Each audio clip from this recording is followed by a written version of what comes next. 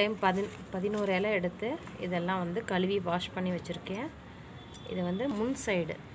இப்படி வந்து ஓட்டை போட்டு இப்படி சொருகிக்கலாம். ஃபஸ்ட்டு இதெல்லாம் ரெடி பண்ணி வச்சுக்கலாம்.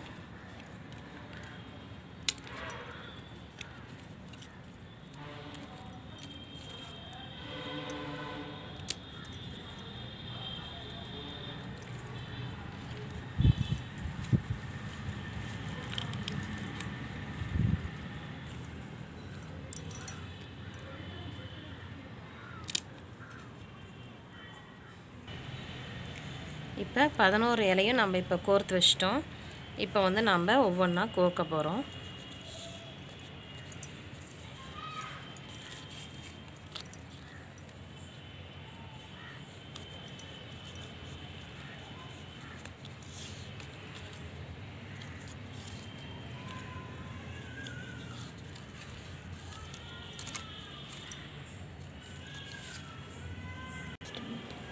இப்போ அதே மாதிரி பதினோரு இலையும் நம்ம கோர்த்து வச்சிட்டோம்.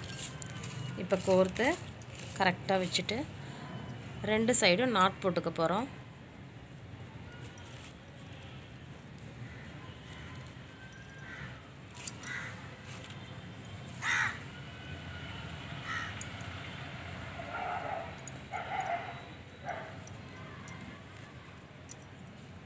இப்போ வந்து நாம் வந்து இலை வந்து கலையாமல் இருக்கிறதுக்காக டபுள் சைடு டேப் வந்து யூஸ் பண்ண போகிறோம் டபுள் சைடு டேப்பு. அது இப்போ எப்படி யூஸ் பண்ணலான்னு பார்க்கலாம்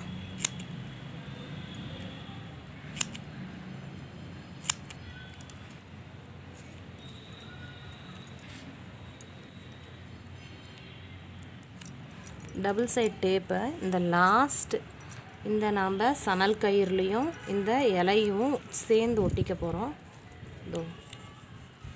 இப்போ இது வந்து இலை வந்து மூவ் ஆகாமல் இருக்கிறதுக்காக நம்ம ஒட்டியிருக்கோம். ரெண்டு சைடும் அதே மாதிரி ஒட்டணும். இங்கே சணல் கயிறில் இங்கே இலையில.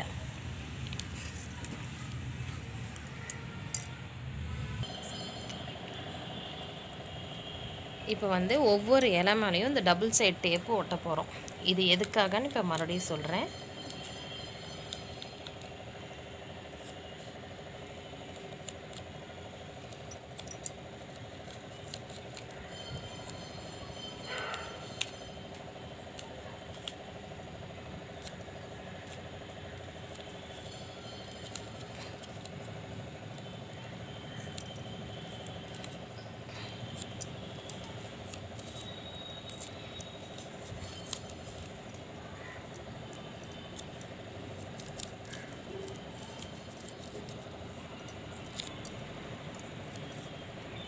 இப்போ நம்ம சாமந்தி பூ எடுத்து இப்படி கிள்ளி வச்சுக்க போகிறோம். இதோ காம்பு மட்டும் எடுத்து பதினோரு பூ எடுத்து ரெடியாக வச்சுக்க போகிறோம். இப்போ வந்து ஆல்ரெடி நான் ரெடியாக எடுத்து வச்சுருக்கேன். அதை வந்து இந்த பூவுலேயும் இந்த டபுள் சைட் டேப்பு ஒட்டுற மாதிரி இப்படி வச்சுக்கிறோம்.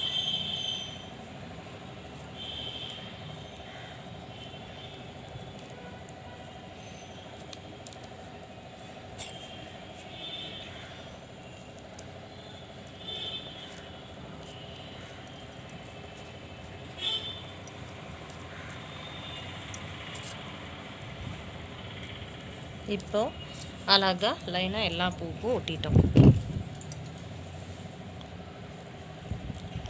எல்லா இலைக்கும் ஒட்டிட்டோம். நெக்ஸ்ட் வந்து மஞ்சள் எடுத்துக்க போகிறோம் மஞ்சள் எதுக்காகனா நம்ம இதில் பொட்டு வைக்க போகிறோம் பூ மேலே இங்கே இலைக்கு கீழே இப்படி வச்சுக்கிறோம் போகிறோம் பூக்கு கீழே.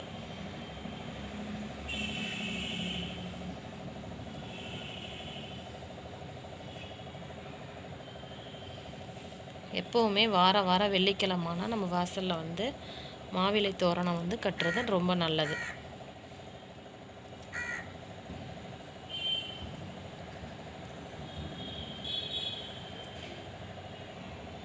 இப்போது அதே மாதிரி பூவுக்கு சென்டராகவும் மஞ்சள் வச்சுக்க போகிறோம் அப்போ தான் பார்க்கவே ஒரு அழகாக இருக்கும். அதுலேயே நமக்கு வந்து இருக்கக்கூடிய ஒரு திருஷ்டியும் போயிடும். இதே மாதிரி எல்லாம் ம். இப்போது இதே மாதிரி எல்லா பூக்கும் மஞ்சள் வச்சு முடிச்சிட்டோம். நெக்ஸ்ட்டு இப்போ குங்குமம் வச்சுக்க போகிறோம் பூக்கு இலைக்கு மாவிலைக்கு எல்லாத்துக்கும் அழகாக வச்சுக்க போகிறோம்